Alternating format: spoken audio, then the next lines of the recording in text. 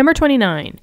A solution of potassium nitrate and electrolyte and a solution of glycerin, which is C3H5OH3, and non electrolyte both boils at 100.3 degrees Celsius. What other physical properties of the two solutions are identical? Okay, so in this case, we have potassium nitrate. So, potassium nitrate. This will be a good test to see if we can draw what the chemical compound is for potassium nitrate, right? Uh, potassium nitrate, we got glycerin. Potassium nitrate is KNO3. Did you get that? Potassium is in group 1, so that's a plus 1 charge. And nitrate is a polyatomic that we know and love, right? NO3 always has a minus 1 charge. So 1 for 1 is just KNO3. Glycerin, they told us, is C3H5 OH3. Now, in terms of these two compounds, right, KNO3 is ionic. Maybe I'll write that a little bit more in the middle. And glycerin is a covalent compound because it only has nonmetals, carbon, hydrogen, and oxygen. Would this be polar or nonpolar? We clearly have OHs on the left side, right, with no OHs on the right side, depending on if they, they wrote it this way. So this would be clearly asymmetrical. Asymmetrical means that you have a polar molecule. So this would be a polar covalent compound. So we'll just say polar covalent. Now, in this case, they both said that we have a solution, right? And they talked about it being an electrolyte or a non electrolyte. So, in order to make up a solution, you have to have a solute plus a solvent. Now, in this case, the potassium nitrate and the glycerin, these are going to be the small compounds that are being dropped into your solvent to make up the solution. The way that I remembered these S words was that solute had six letters, solvent has seven, and the solution has eight. The smallest uh, component, usually a solid, is going to get dropped into your liquid, which is the larger amount, and together they make up the largest amount, which is the solution. So, potassium nitrate and glycerin, these are both of your solutes. But the question is, who is my solvent? They didn't say. But they did say that it boiled at 100.3 degrees Celsius. There's only one boiling point that you should memorize for this chemistry class, and that is that the normal boiling point I'll just say BP. The normal boiling point of water is 100 degrees Celsius. If we had a pure, um, if we just had a pure solution of just water and we boiled it, it would boil exactly at 100 degrees Celsius. Now, we have a little bit of elevation because this boiling point is a little higher by 0.3 um, for uh, from the normal boiling point of water. And I put the two pieces together that, hey, this is really close to 100. The solvent had to definitely be 100.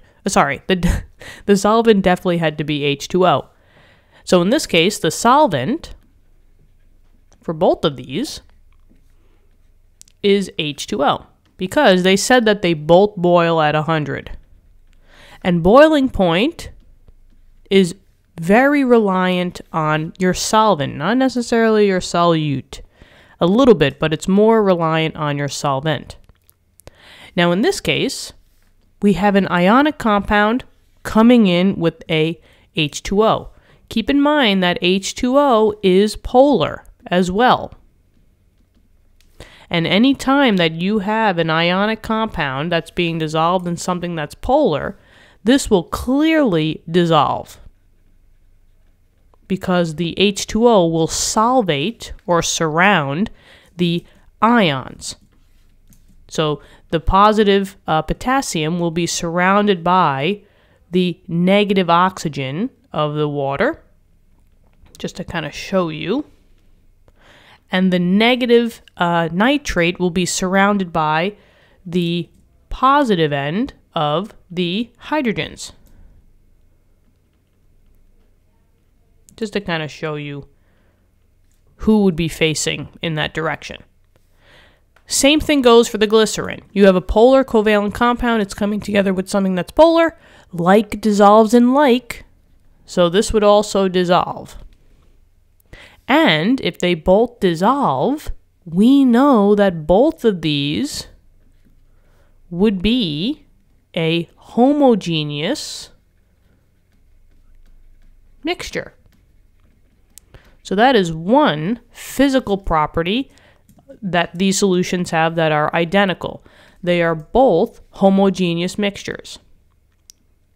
Now, just like the boiling point is highly reliant on the solvent, the freezing point is highly reliant on the solvent. If we are having the same boiling point elevation, it increased by 0.3 from its original, that means that you generally have the same amount of water that's in both of these solutions.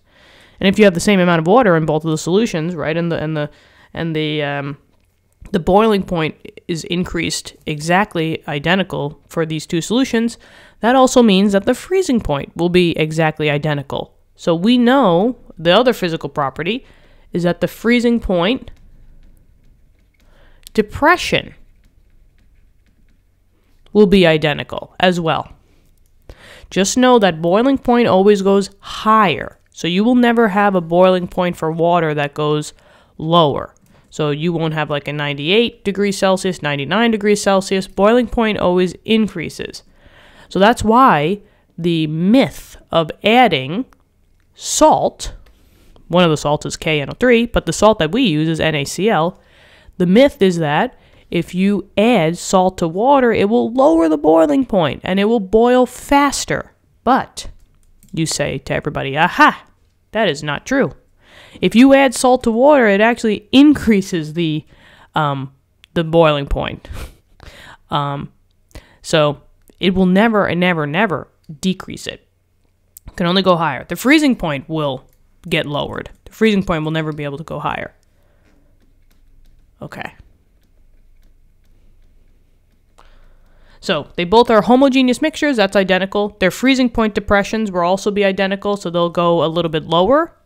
Um, and just know that the normal freezing point of H2O is 0 degrees Celsius. So we will go into negative numbers, maybe negative point, uh, 0.3, I don't know. So we'll box that off. That's super important to know.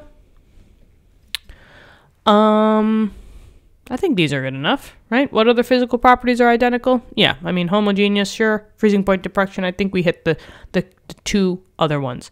If you think of any others, let me know in the comments. And I love to get back to you on that. We could have a discussion, all right?